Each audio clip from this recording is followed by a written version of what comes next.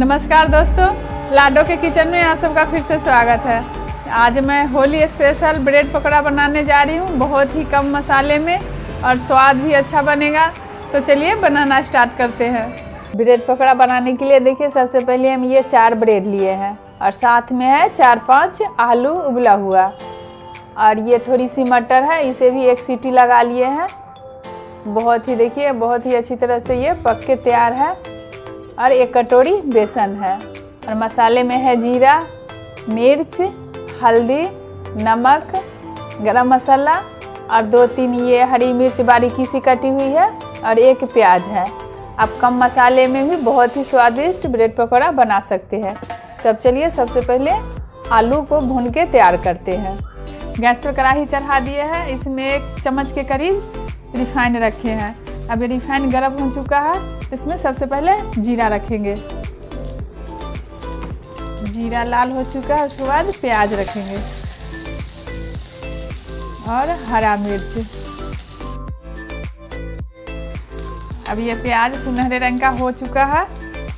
अब जो आलू उबाल रखे थे, इसे हाथों से थोड़ा सा इसे मिक्स करके और रख देंगे।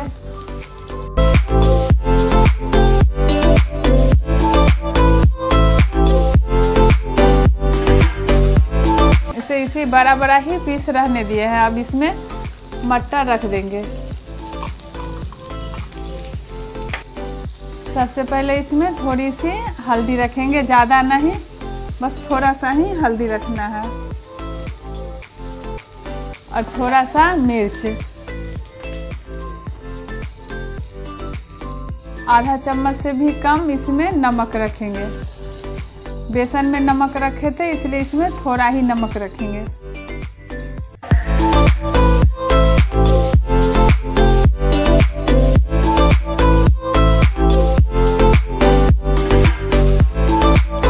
अब ये मसाला अच्छी तरह से भून के तैयार हो चुका है। अब हम बेसन की घोल बनाते हैं। तो बेसन की घोल बनाने के लिए सबसे पहले ये जो बेसन ले रखे थे, वो रख दिए हैं। अब इसमें आधा चम्मच के करीब हल्दी रख दिए हैं। आधा चम्मच मिर्च। और स्वाद के हिसाब से आधा चम्मच से थोड़ी सी ज़्यादा नमक है।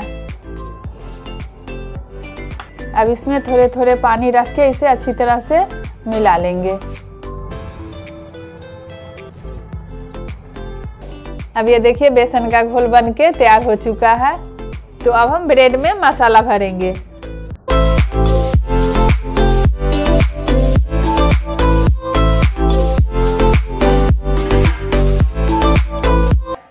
इस तरह से ब्रेड में मसाला रख के और चाकू के सहायता से त्रिकोण इसे काट लेना है।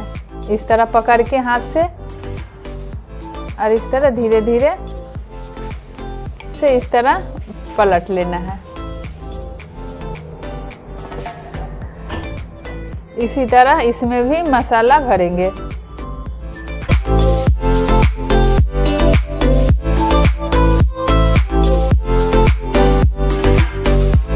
अब ब्रेड में जो आलू भर रखे थे, उसे इस तरह बेसन में मिला लेंगे।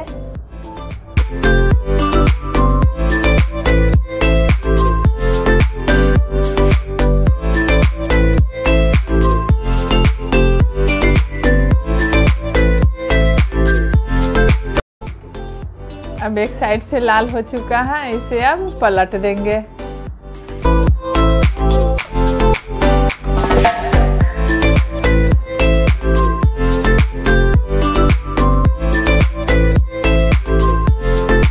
अब ये ब्रेड बनके तैयार है। अब इसी तरह से एक एक करके सबको बना लेना है। अब ये ब्रेड पकौड़ा बनके तैयार है।